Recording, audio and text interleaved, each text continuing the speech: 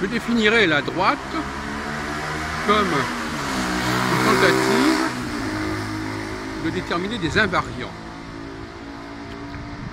L'invariant, ça veut dire que les choses ne changent pas, ça veut dire que les choses sont cycliques.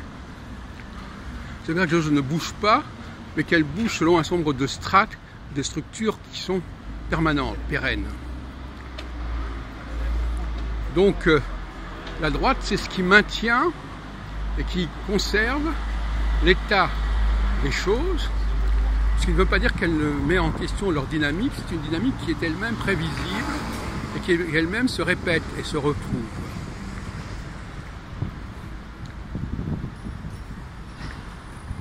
Par conséquent, par exemple, parler des cycles et des phases successives, c'est un discours de droite.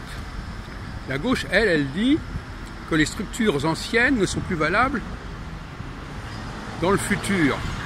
Pas du tout ça. Donc il y a un discours, le changement à droite, c'est le changement récurrent. Le changement à gauche, c'est le changement de structure. Et la gauche, elle se fait finalement l'avocat de ceux qui ne sont pas contents, de ceux qui sont opprimés, de ceux qui veulent changer le monde, qui veulent changer l'ordre du monde, l'ordre des choses. Et ça, effectivement, une position qui est celle du colonisé, qui est celle de, de celui qui, qui est mis en infériorité, qui est minoré, et qui a des comptes à régler, et qui veut quelque part euh, remettre en question l'ordre établi. La droite veut maintenir l'ordre établi, mais ça peut aussi vouloir dire rétablir un ordre établi qui, est, qui a disparu, qui a été corrompu. Donc il s'agit de restaurer un certain ordre, ça ne veut pas dire maintenir le statu quo. D'ailleurs, la notion de révolution de droite n'est pas du tout le retour au statu quo. C'est une volonté de rétablir les choses. Alors, par exemple, Vichy, c'est une révolution de droite. Ça vaut ce que ça vaut. Évidemment, les penseurs de droite ne sont pas tous d'accord entre eux. Ça va de soi.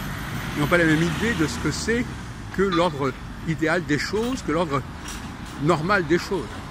Mais ils s'entendent sur une philosophie générale qui est la même, à savoir restaurer l'ordre des choses, l'ordre dans les deux sens du terme, c'est-à-dire l'ordre au niveau structurel, au niveau de l'espace, mais aussi l'ordre au niveau du temps.